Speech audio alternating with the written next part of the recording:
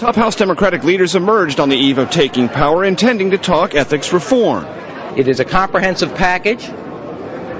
It will alter the way business is done. But anti war demonstrators soon drowned out this new leadership team, demanding an immediate end to the war in Iraq. At every step of the. Uh, every. Okay, at every step.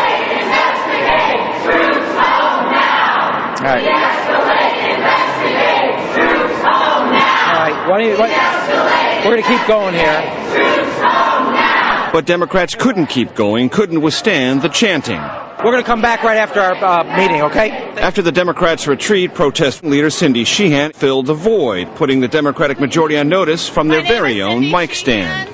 We're here to let the Democrats know that the grassroots movement and the peace movement elected them for change.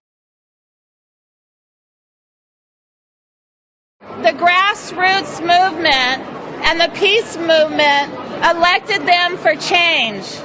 We elected them to bring the troops home, stop funding the war, and for accountability. Earlier, Sheehan and others marched on the Capitol, vowing to take their protest to Democratic offices across the country. 3,000 dead, not one more. No more money for the war. When House Democrats emerged a second time, they offered to investigate but not end the Iraq war. And the most important thing that a Congress can do is begin to hold the hearings and ask the questions that our constituents are asking and finally demand the answers that have been missing from this policy in Iraq.